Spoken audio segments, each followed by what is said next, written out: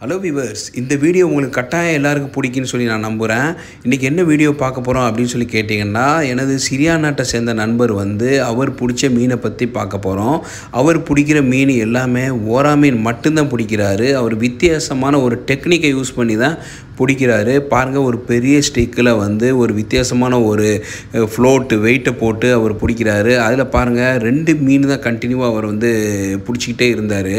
அவர் எப்படி யூஸ் பண்ணுறாருன்னா இதுக்கு இறை வந்து மைதா மாவை தான் போடுறாரு. மைதா மாவை போட்டு இந்த மீனை வந்து பிடிக்கிறாரு.